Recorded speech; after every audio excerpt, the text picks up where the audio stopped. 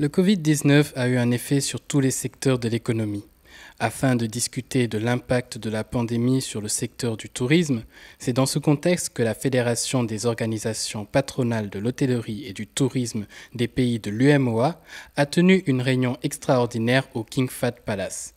Devant les représentants des différents pays de la sous-région, le président de la FOPAT Racine Si s'est adressé durant l'introduction à la presse, expliquant les raisons de cette réunion. Ce Covid-19 a été euh, d'une ampleur euh, inédite, euh, d'une soudaineté et d'une violence, je veux dire, jamais égalée.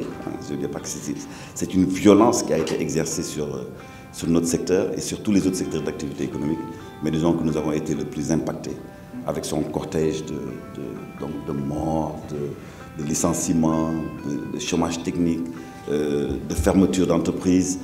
Le secteur touristique mondial a en effet beaucoup souffert de cette pandémie. Au Sénégal, cependant, il a pu bénéficier de l'aide de l'État afin de se redresser. Nous remercions le, gouvernement, euh, et particulièrement le président de la République, le président Macky Sall, pour nous avoir dès le début euh, soutenus de manière conséquente en mettant en place un fonds de 15 milliards d'abord pour euh, les BFR. Les BFR, c'est les besoins en fonds de roulement sur trois mois. Évidemment, trois mois, ça passe très vite.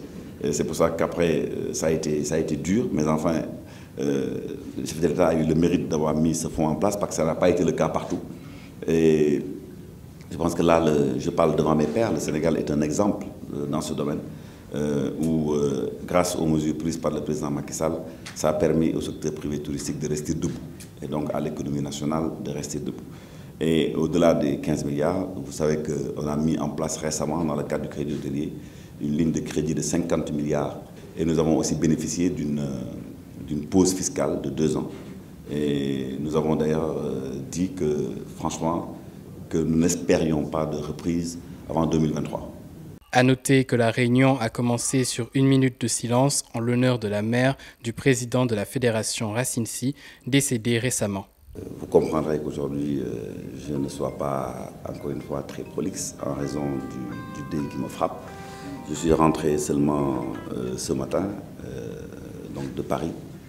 Donc voilà, j'étais allé chercher ma mère. donc voilà. Mais encore une fois, il faut, il faut être croyant. Quand on est croyant, il faut toujours se plier à la volonté de Dieu.